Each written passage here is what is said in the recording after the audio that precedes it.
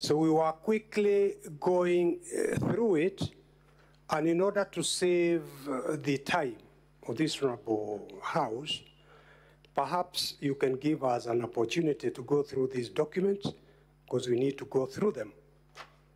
Inaonekana kama hii ni ukarabati, but let's go through through it.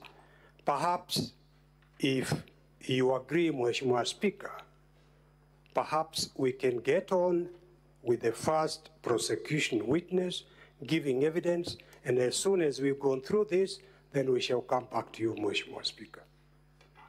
Thank you for your wisdom, Senior Counsel. Now, uh, the other name that has been raised is on the issue of summons to witnesses.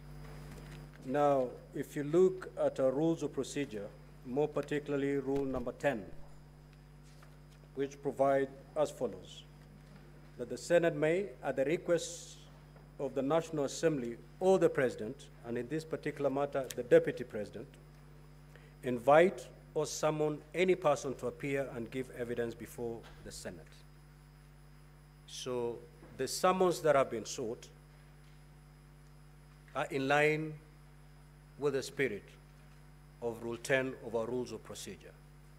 You may attack the evidence when this particular witnesses who have been summoned, if their evidence introduces other allegations, then at that particular uh, juncture, the legal team from the Deputy President, you may raise an issue, and I'll certainly hear you at that juncture.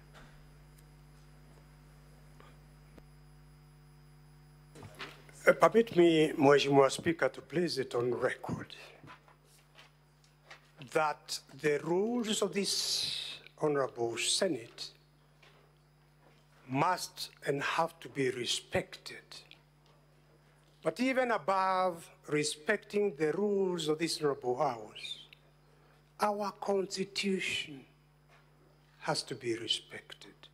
Article 50, the right to a fair trial, which in terms of Article 25C, Mheshimiwa Speaker, you will remember, you are aware, that is a right that cannot be compromised in any manner. There has been no explanation why the EACC was, in, was never asked to investigate the allegations before they were tabled before the National Assembly and before a decision was taken. Because the National Assembly cannot investigate criminal offenses. In fact, in implementing Chapter 6 of the Constitution, the Act of Parliament said a conviction is necessary. And now you want to reverse the will of the Kenyan people in electing the deputy president without him being reported or the matter being investigated or him being convicted. Mheshimiwa Speaker, I plead that you reconsider your exercise of that discretion in permitting witnesses from the EACC to be called in order for the deputy president to have a fair trial before the Senate. Thank you. Senior Counsel Paul Muite, you, Mheshimiwa Speaker. you're actually arguing your case.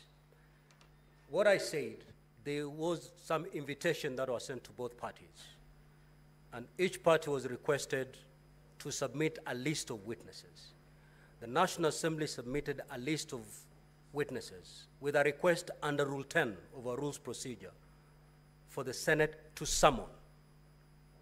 That is the request that has just been made by the National Assembly, and it is permissible and it is within our rules of procedure.